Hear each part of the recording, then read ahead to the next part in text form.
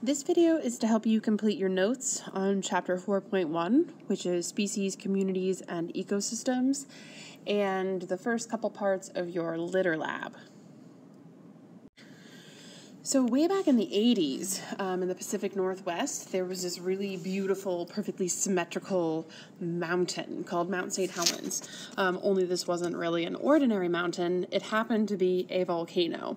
And one day, out of the middle of nowhere, it seemed, this volcano had a massive eruption.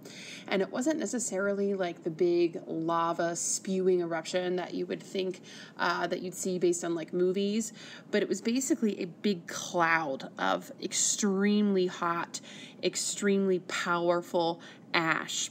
And this ash completely decimated these ecosystems that were present on and near the mountain. So basically, just decimating, just killing off everything, every plant, every mushroom, every animal uh, within its path. So, what was really interesting to see is the transformation between these very mature ecosystems to something that was totally barren of life, yet within only a short couple of months, certain shrub like plants and other animals started to appear. And it just shows us how cyclic these ecosystems are, that they begin with small, like primary uh, plants, animals, bacteria, fungi, and then they mature, and then some kind of event disrupts them, and they start the cycle all over again. So, throughout our chapter on ecology, we're going to be using some terminology like ecosystem, species, population, and some other words um, pretty frequently. And it's important that we understand exactly what these words mean. So, let's talk species. A species is a group of organisms that can interbreed, there's the important part there, and produce fertile offspring. Okay, so in other words, okay two individuals if they can breed together and if their offspring can also breed on its own they must be of the same species Okay, so dogs are actually all of the same species. They may look really different, they may be different sizes, have different shapes, fur colors, etc. Okay, but all dogs can interbreed and produce fertile offspring. Now, members of the same species usually have some common uh, physical characteristics. So, all dogs have four legs, and they have two ears, and they have furry coats, they have a tail, etc. Members of the same species usually, actually, according to our definition, always have the inter- ability to interbreed and produce fertile offspring. Members of a species have gene pools that are different than other organisms. So, dogs all have a very similar gene pool, but their gene pool is very different than a cat. Okay, so they have gene pools that are different. And they have a common phylogeny. We're going to talk a lot more about phylogeny when we get into evolution, but basically means they have the same family tree. So, all the current species, not species, sorry, all the current hmm. breeds of dogs can actually be traced back to a common ancestor. And so these common species, or this one species with the different breeds, all came from the same common ancestor.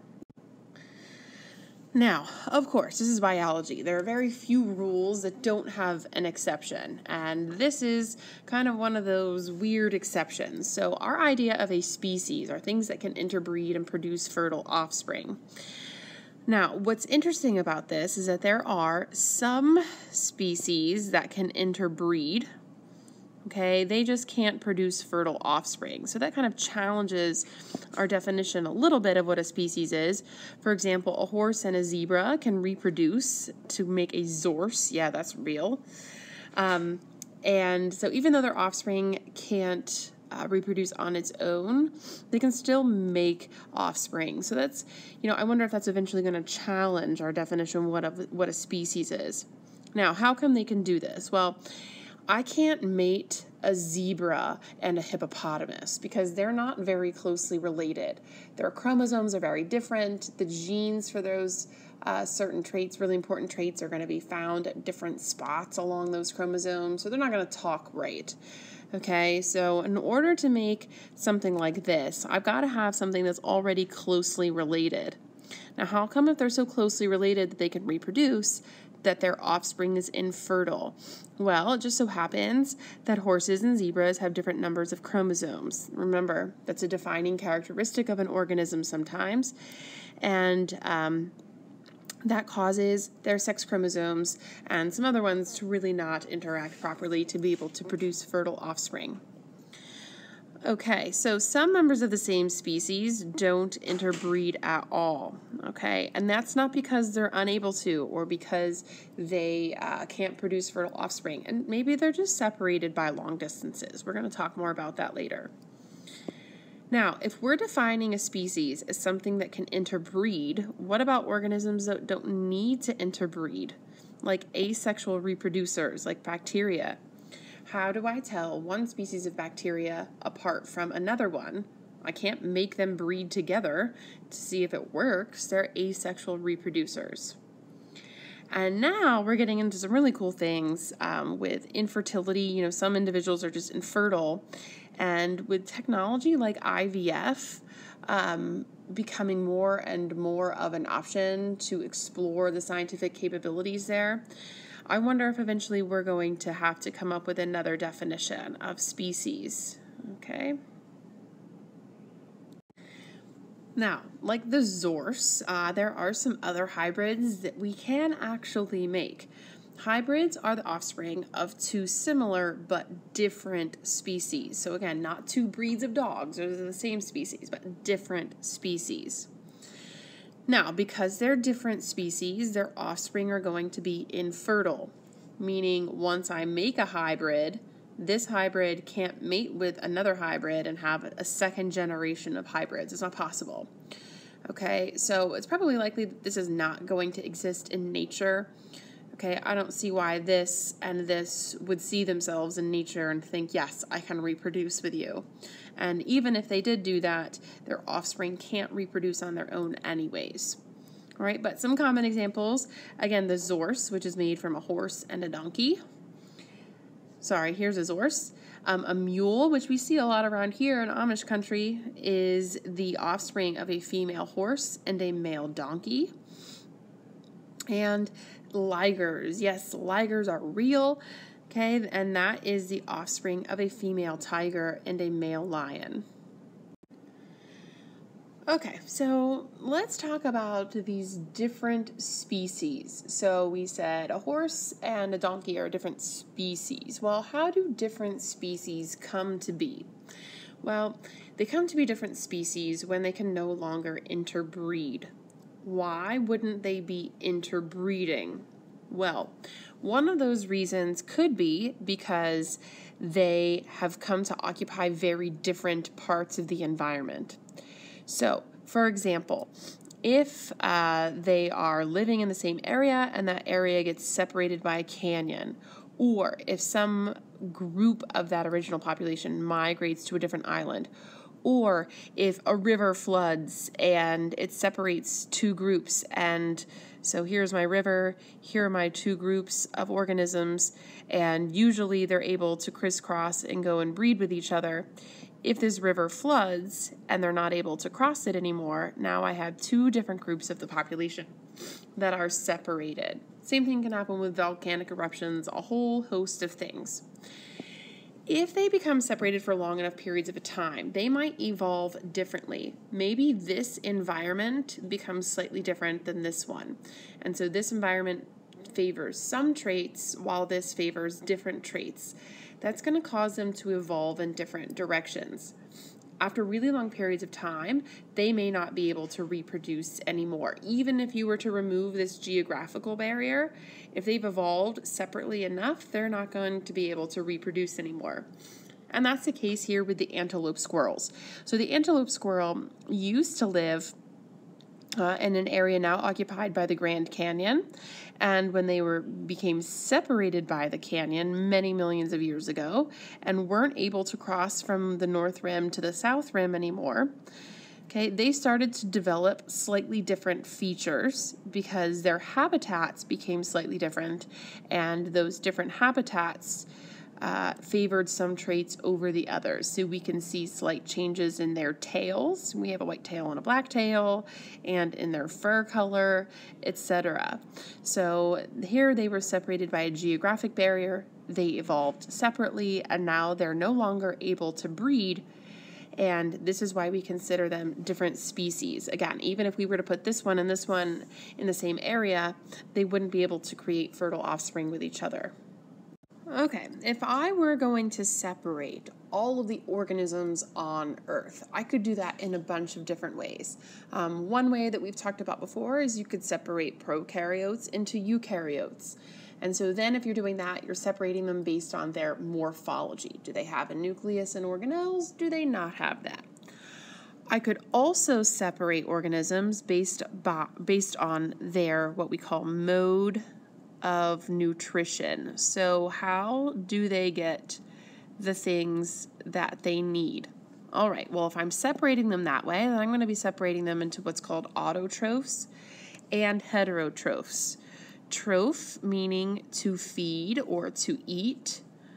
Okay, auto meaning self. These are what we call self feeders. Okay, they don't eat themselves, they make their own food by themselves. Hetero means different. So these organisms have to eat different organisms. They're feeding on other organisms. So here's the information that you need for a nice T chart comparing autotrophs and heterotrophs. Okay, so autotrophs can synthesize organic molecules. So synthesize meaning to make organic molecules, like let's say glucose from inorganic molecules. And this is usually going to happen through the process of photosynthesis. Okay? Now, they're also called producers because they make food that is used by other organisms. And these are things like plants, algae, and some bacteria. So they take inorganic molecules like the carbon dioxide in the air and water, and through the process of photosynthesis, turn that into organic molecules like glucose. That's super different than heterotrophs. Heterotrophs have to what we call ingest or eat their food. Okay, so that means that they have to obtain their organic molecules from other organisms. We also call them consumers. So we have producers and we have consumers. And these are things like animals, fungi, uh, some bacteria are like this. Okay, so this is actually the leaf cutter ant. Leaf cutter ants are super cool. Leaf cutter ants don't actually eat the leaves. Their digestive systems can't do that. So they kind of chew up the leaves, and in their saliva uh, is are some chemicals that make it really enticing for mold to grow on these leaves. So mold grows on the chewed up leaves, and then the ants eat the mold. It's pretty cool. So ants and fungi in that case would both be heterotrophs. The, the fungi would be eating the leaf, and the ant eats the fungi. Okay, so we have a producer and then a consumer. Okay, so consumers are exactly what they sound like. They have to consume or eat things. And again, the other word for that is ingesting. So, a couple of ways that you can do this. You can actually eat producers. You can eat fruits and vegetables or the actual plant. You may also be eating a product of a producer, okay, like fruit juice, something like that. We can also eat other heterotrophs. So I can eat this chicken. This chicken is a heterotroph. It eats things to survive. I can eat this chicken or I can eat the products of the chicken, like the eggs. So consuming things takes on a whole uh, lot of different ways that you could achieve that. There are a ton of different types of consumers. We could talk about herbivores, which eat plants, or carnivores, which eat animals, or omnivores, which eat plants and animals. We're really only going to, right now, focus on two types of consumers. And we're going to focus on them because this chapter is a lead into our next chapter on how things get recycled. And so there's two really important types of consumers that recycle things. One of them is called a detritivore, and they eat detritus. What the heck is detritus? Well, detritus is any non living organic matter, and that can be things like dead leaves. So they have organic molecules in them, glucose, cellulose, etc., but they're not living. They can eat feces. Yes, we must have things that eat feces. If nothing ate feces, then the whole world would just be filled with big piles of feces, and that doesn't sound very nice. And carcasses, which are dead bodies. So, examples of detritivores include things like earthworms, dung beetles, okay, some other insects that live in the ground. Those are detritivores. The other really important type of consumer that's involved with recycling is what we call a saprotroph. Saprotrophs are super cool. They actually digest your their food externally. So what does that mean? Well, let's take a look at a human. Okay. Humans eat their food.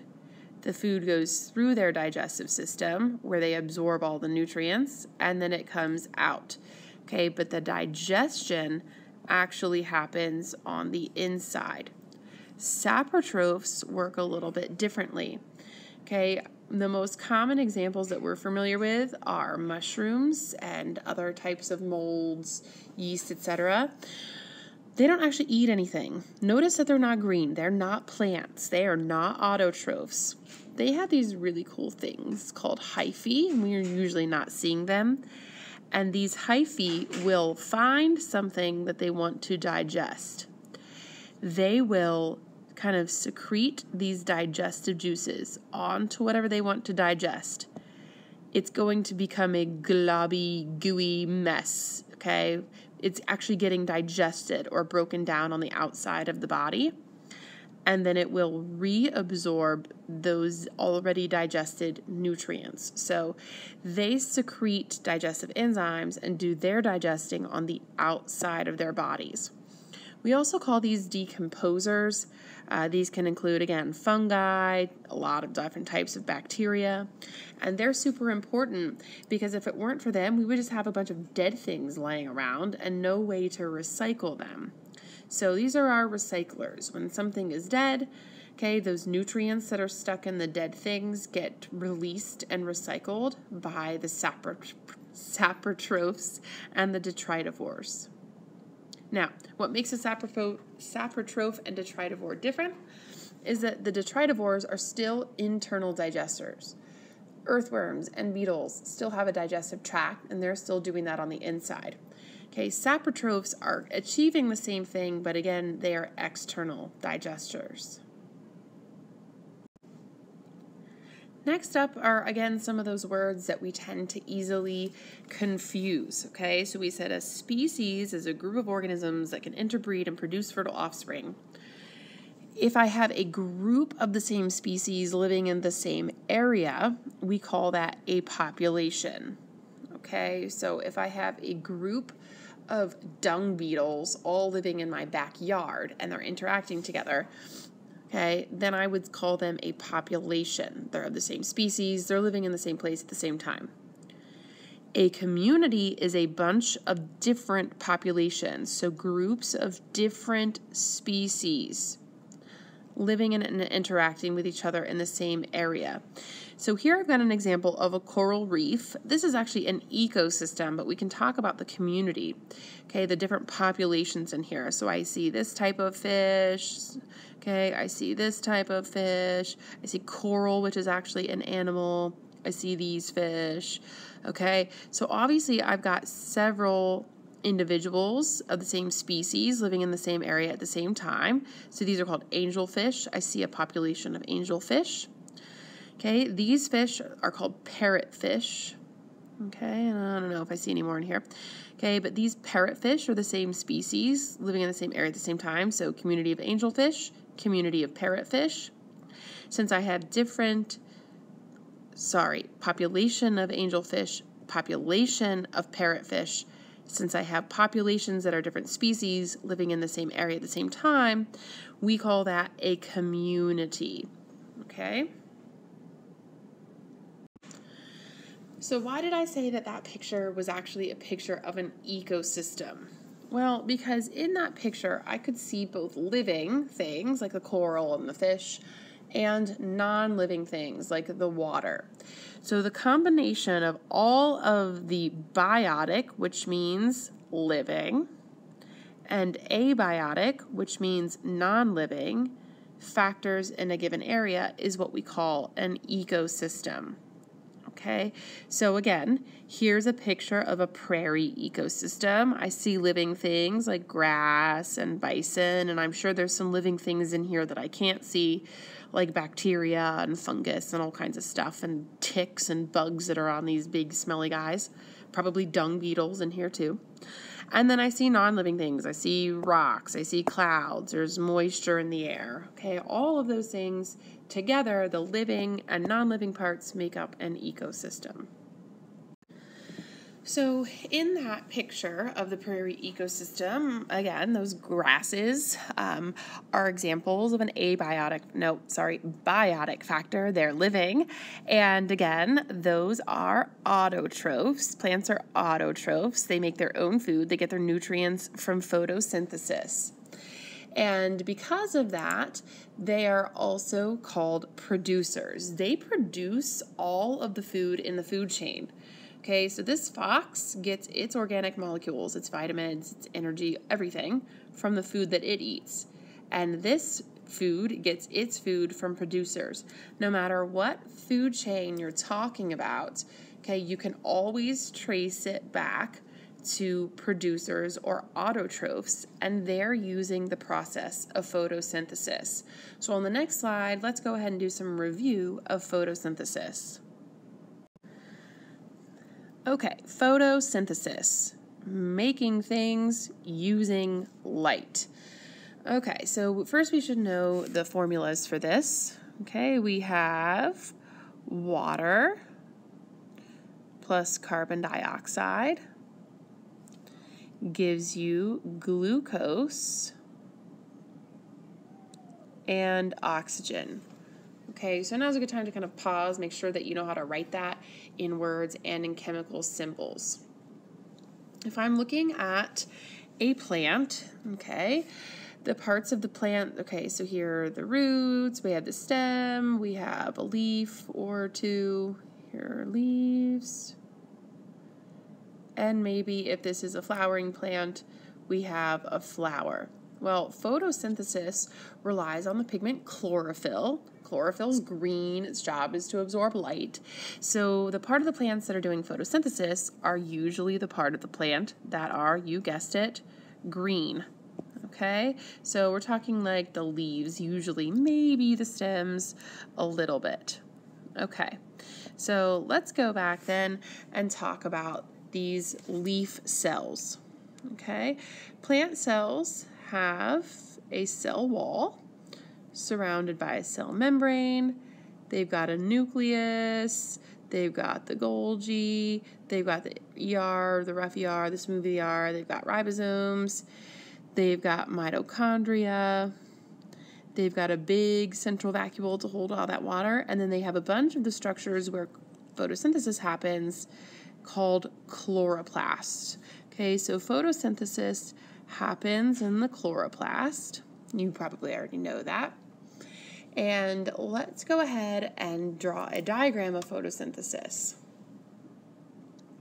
Okay, so here's my chloroplast, and chloroplasts have a couple different parts.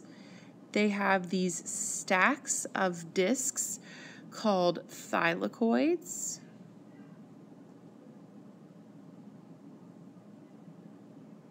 Okay, and these thylakoids are green. That's where all the uh, chlorophyll is located. And then they have this clear jelly stuff called the stroma. And photosynthesis happens in two distinct steps. We have the light dependent reaction, and then we have the light independent reaction. Also known as the Calvin cycle. You should probably know both. Not Calvin, Calvin. Calvin cycle.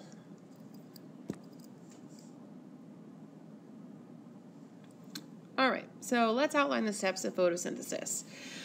These thylakoids are green. They contain the pigment chlorophyll, and the job of chlorophyll is to absorb light.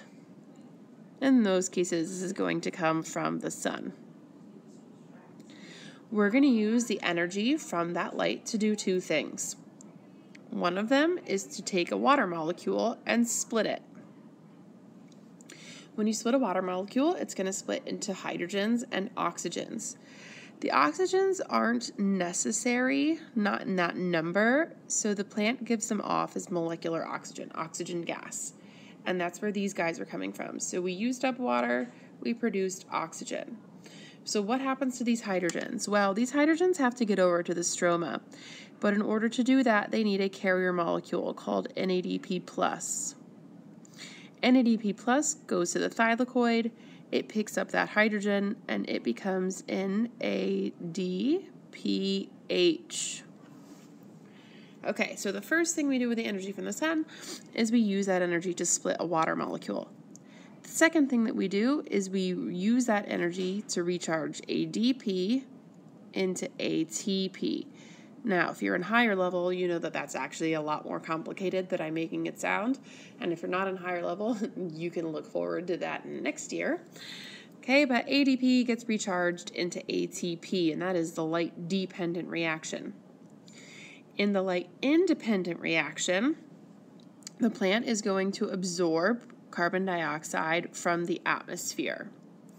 So if my goal is to make glucose, I have the C's, I have the O's, and the H's are going to come from NADPH, which originally came from water.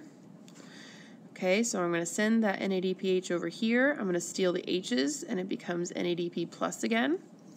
So I'm ready to make glucose.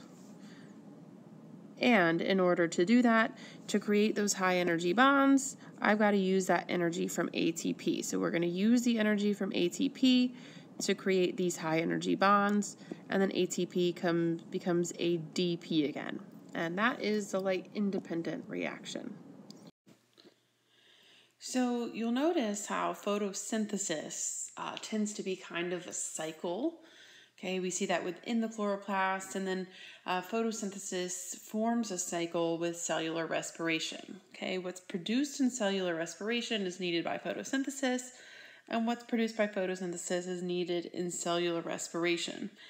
And so we find one of the great examples of what we call nutrient cycling. See, the Earth is a closed system. Yeah, every now and then space dust, meteorites, something falls to Earth, but for the most part, whatever matter we have on Earth is all we have. We're not getting any new matter. Okay, so whatever we have on Earth has to be recycled. Okay, so consumed, used for something, and then recycled because we're not getting any new stuff. So, for that reason, we say that nutrients are recycled. It's a little bit different than energy. Okay, we have a constant influx of energy from the sun in the terms or in the forms of light and heat and other forms of energy. Okay, so that energy comes in it's converted from solar energy to chemical energy by plants, okay, which is converted into chemical energy in the form of ATP and heat by consumers. And then that heat is then lost through the Earth's atmosphere. But that's okay that that heat is lost because new energy is coming in from the sun. So, for that reason, we say that energy flows through an ecosystem, but nutrients are cycled. We're not getting any new nutrients okay, the nutrients and matter that are uh, present on Earth, okay, uh, have to get recycled. One of the really important features of this nutrient cycling are what we call decomposers. So, again, decomposers are going to include the saprotrophs like fungi, mushrooms, some bacteria, and the detritivores like the earthworms, beetles, uh, lots of other things. And they unlock nutrients that are otherwise stuck in the dead bodies of organisms. If it weren't for these guys, the earth would be just filled with stacks of dead bodies. And they do that in one of two ways. The first thing they do is pretty cool. Their digestive enzymes convert the organic matter into a form that's more useful for other organisms. So, for example, in the soil is a bunch of what we call nitrogen fixing bacteria. And they help take proteins from dead organisms and they help turn them into nitrates, which the plants can use. They can also use other forms, but they work with the dead organisms also. And then they also turn nutrients into components of soil. So, these dead leaves, for example, have nutrients locked in them decomposers and saprotrophs and detritivores will take those nutrients, digest them, and then those digested nutrients return to the soil, which then new plants use to grow. So, a great example of how decomposers are a very important part of that nutrient cycling. So, how does this nutrient cycling exactly take place? Well, it's going to be a series of steps here. Okay, so step number one Producers like plants, algae, certain types of bacteria are going to take inorganic compounds like carbon dioxide or water and transform them into organic compounds like glucose. Okay, so the goal is to go from inorganic to organic. Now, they can take that glucose and use it for something, or they can hook those little monomers of glucose together. So remember, glucose looks like this they can bond them together to make all sorts of things. Okay, if they need, if plants need to make a structure like their cell wall, they're going to take glucoses and turn them into cellulose. All these little glucose molecules hooked together. Notice how that's a straight line. Straight line, straight line, straight line. If they need to store these glucoses for energy, they can turn them into starch. So here are all my little glucose molecules. Okay, and starch or amylopectin is a spiral. Those are what producers do. Glycogen is for animal cells, so we're not really going to get into that too much here. Okay, so after the producers produce the organic molecules, then the consumers are going to eat the producers. So I see plants in here, producing things. I'm sure there are snails, insects, whatever in here eating the producers. The complex molecules found in the producers are digested into smaller monomers, such as glucose and amino acids. So, if in the plant there are, in fact, a bunch of, let's say, starch molecules, okay, then the consumer, and you would be an example of this, is going to digest those large molecules and break them down into smaller components. Now, those smaller components can be used for a variety of things energy, structures, etc. And when those consumers die, their cells are broken down by the digestive enzymes of decomposers, and these nutrients are then returned back to the soil. And so this is what we call the big circle of life here. You can go ahead and cue that Lion King music in your head. Okay, so we go from inorganic molecules to producers to consumers. Consumers die, they're decomposed, and we start those cycles over again. And that is what we call nutrient cycling. Here's an example of a closed environment, a closed ecosystem that has been going for, I think, almost 50 years or something like that. It's been a long time. Okay, it's a self sustaining environment, much like the earth. Okay, where the nutrients that are in here now were present in here when this uh, ecosystem was built, and they just keep getting recycled. So, what kind of nutrients need to be recycled? Well, all of them. Okay, some common ones that you might be familiar with oxygen, carbon, nitrogen, phosphorus, even the water cycle is an example of a nutrient cycling. Now, we're going to be taking a closer look at the nitrogen cycle. Just to review, nitrogen is really important in a couple of biomolecules. Okay, so we have four biomolecules we have carbohydrates, we have lipids, we have proteins, and we have nucleic acids. Okay, these two both contain nitrogen. So without nitrogen, we could probably make carbs, we could probably make lipids, but we couldn't make proteins or nucleic acids. So let's take a look at that nitrogen cycle. We're going to be in two spots in our nitrogen cycle. So I'm just going to kind of cut my space in half. And we're going to say that down here represents the soil and up here represents the atmosphere. Okay, now present in the atmosphere is a bunch of molecular nitrogen, so nitrogen gas. In fact, 70 something percent of our atmosphere is made up of nitrogen, so it's mostly nitrogen. And we need nitrogen, so that's a good thing. The only problem is that plants, animals, most organisms can't use the nitrogen that's in the air. So we rely on a bacterium found in the soil. And this is what we call nitrogen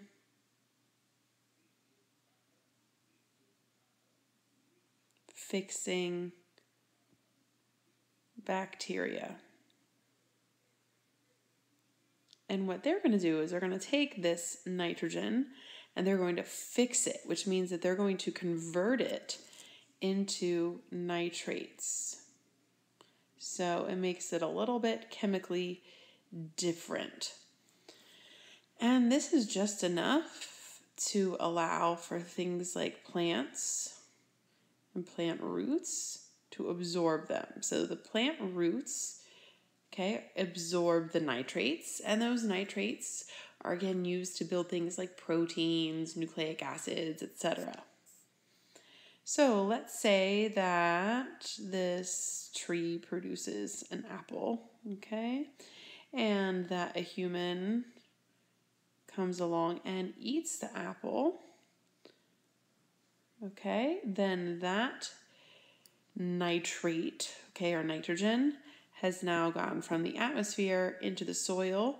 The bacteria turned it into a nitrate. The nitrates became part of the plant, and those nitrates became transferred to the human when the human ate part of the plant.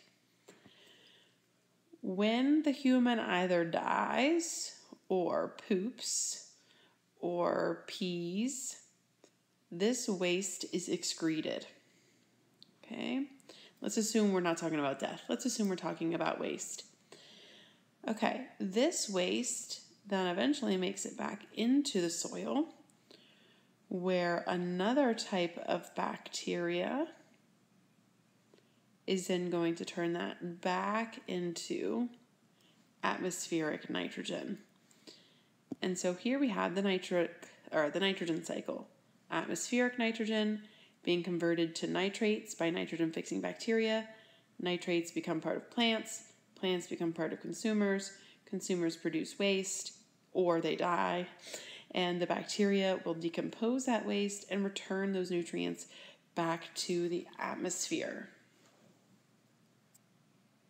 So, if you're planning on creating any kind of an ecosystem where you need a self sustaining ecosystem, I would definitely plan on including some nitrogen fixing bacteria or just bacteria in general because their properties as decomposers and fixers definitely make them uh, essential. One of the great things about ecology is getting outside and taking a look at uh, what kind of things we can collect data on, what kind of assumptions and conclusions can we make. And we're going to be doing that next week. But it is impossible to count the entire number of individuals in an area exactly if we're talking about a large area. So let's say I wanted to count the number of dandelions growing on an old baseball field. Even just in this picture, I doubt if I could count all of them without making a mistake. Okay, and it would take me forever. And imagine if I had to do that for a whole baseball field. So, how do we estimate how many dandelions are on a baseball field without actually calculating all of them or counting all of them? Well, we're going to estimate ecological data the same way that presidential polls are put together. So let's take a look at this poll. I think this one's from way back in June. Yeah, there we go, June of this year. So on June 26th through 28th, Okay, 59% of people said that they were voting for Hillary Clinton, and 34% said that they were voting for Donald Trump. Well, no one called me to ask me who I was voting for. No one called anybody that I know. So, how do these pollsters know for sure that 59% of people are going to vote for Hillary and 34 for Trump if they didn't ask anybody? Well, what they did is they found a representative sample. Okay, so these numbers represent the percentages of the sample that they actually ask these poll questions. And what these poll takers rely on is that the sample is representative of the general population. And so, how do you do that? Well, you got to call a lot of people and you got to hope that your calling is random enough to where your sample is likely to match your general population. Well, how do we do that in ecology? Well, we're going to be taking samples from random parts using what we call a quadrat. Quad meaning four. Here's a quadrat. It's got four sides, and each side measures one meter. So one meter, one meter, one meter, one meter. What you're going to do is you're going to lay this sucker down uh, a bunch of time in random spots on whatever you want to measure. So here we're measuring the number of dandelions in a baseball field. So if you lay this down, count the number of dandelions in here, and then lay it down somewhere else in your field, and you do that in enough time, you'll be conducting uh, a random sample, which is the same principle as presidential polling. We've now reached the end of the notes portion of 4.1. Um, the rest of this video is going to cover some review questions that you're going to find helpful, and then an introduction to a lab you're going to be doing uh, later next week. So, how do we do these review questions? Well, the best way to do it is to pause the video, give yourself a chance to answer, and then resume the video to see the answer. So, what term refers to a community and its abiotic environment? So, again, now would be a good time to pause that. A community is all the living organisms, like all the different populations, and the abiotic environment together, they make up the ecosystem. Which organisms externally digest dead organic matter and then absorb the nutrients? Pause now. Answer. If you said saprotrophs, you would be right. Very nice. They externally digest things. Consider the simple food web below. Which organism could be a saprotroph? Pause now. So, this is actually a bit of a tough question. These arrows here indicate energy flow. So if energy is flowing from P to Q, the only reason that could be happening is if P is getting eaten by Q. Okay, so here Q is a consumer probably. All right, well, so I'm thinking from P to Q. All right, well, this is energy. From P to Q, it looks like P might be a producer because its energy is going to a lot of other organisms. Okay, and we know that saprotrophs are kind of uh, the end of the line. They're taking dead organic matter and recycling it. Not many things are going to eat saprotrophs, so I shouldn't find any energy flowing from a saprotroph. So I know that P cannot be the saprotroph. Okay, same thing with R. R can't be the saprotroph. There's no energy flowing from a saprotroph. Can't be X, can't be Q. The answer here should be T. Do you see how all of the energy in this diagram eventually ends up at T? Well, that's just like all of the nutrients end up with saprotrophs. Next week, we're going to be doing um, a lab where we're modeling ecological sampling using the quadrat. So right now I want you to get out a sheet of notebook paper. We're going to start this lab. If you need a sheet of notebook paper, there's some in the basket over by the window. Up at the top, don't forget to put your name, and then we're going to title this Litter Lab. Next week, we're going to be going out into this practice field out in front of McCaskey, and we're going to divide it into half the north half and the south half. So, some of you are going to be sampling from the north, and some of you from the south. And I want you to go ahead and copy down these headings, and we're going to fill these in. Okay, so our question here is Is there a significant difference between the number of pieces of litter on the south side of the field versus the north side of the field. Now, our hypothesis, we're always going to use the null hypothesis, and that is that there is no significant difference.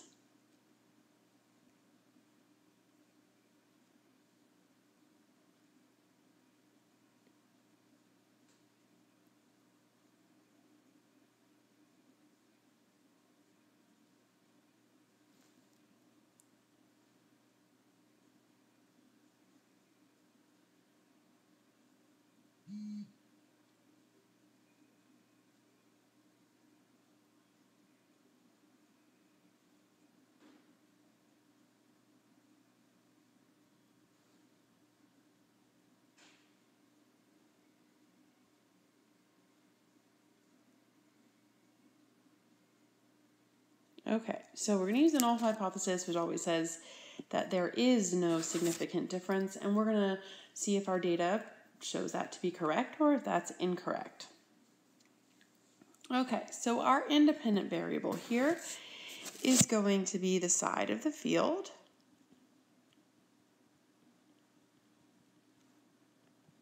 Those are the two things that we're testing, and we're going to test north versus south.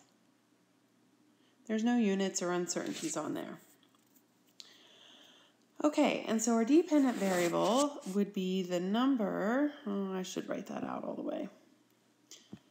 The number of pieces of trash or litter.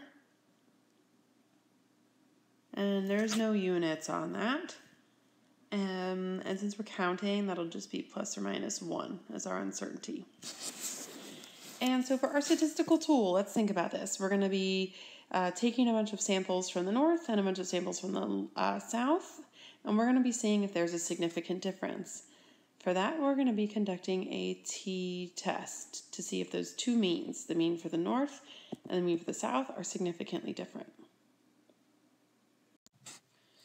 Okay, so here's our procedure that you can start copying down. Again, make, probably make a heading for procedure, and we'll want to number these. The numbers got cut off when I converted these into a PDF.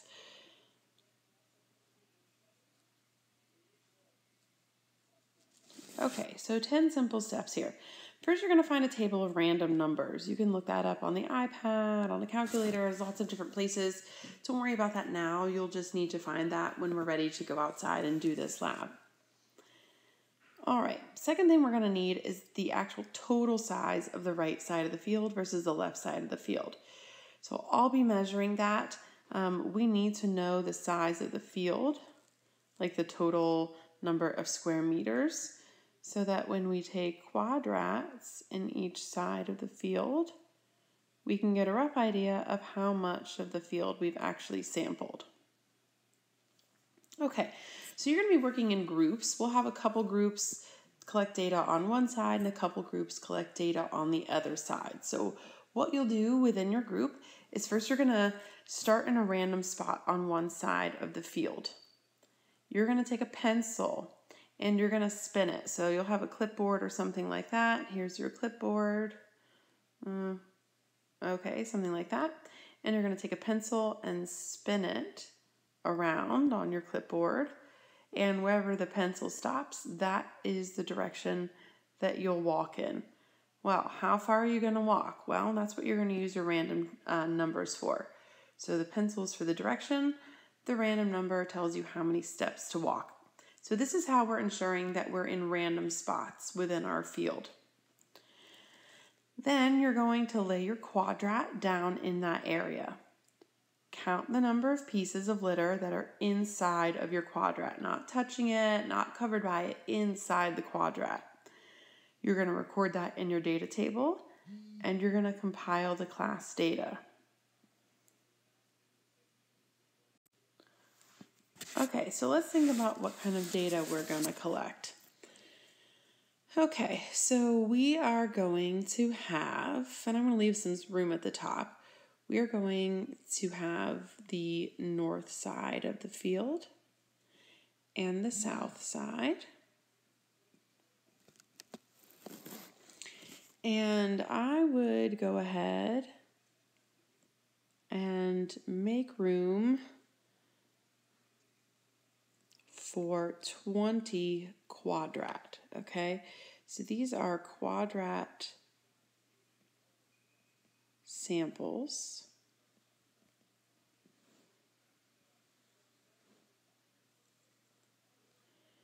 Okay, so we'll have like one, two, three. I want you to do that all the way until you get to 20. And then after you get to 20, Okay, and of course you'll need to include all these lines also. Okay, we're going to do a row for the mean. And we're going to do a row for the standard deviation. Okay, so we're going to get 20 quadrat samples from the north side and find an average and a standard deviation. And we're going to get 20 quadrat samples from the south side, find an average and a standard deviation. And then, of course, we're going to conduct a t-test. So then we're going to get a p-value from the t-test. And um, we're not going to do this on Excel. I'll show you how we're going to do this. So for now, we can just write this on your notebook paper. Okay, last thing that you're going to do to get ready for this lab is, well, I don't know. Just make sure that you have everything written down on your lab paper so far. Um, please make sure that you turn in your notes packet. Be careful, there is a question there at the end for you to do, and then I will catch up with you and we'll get this ecological data sampled uh, when I see you next.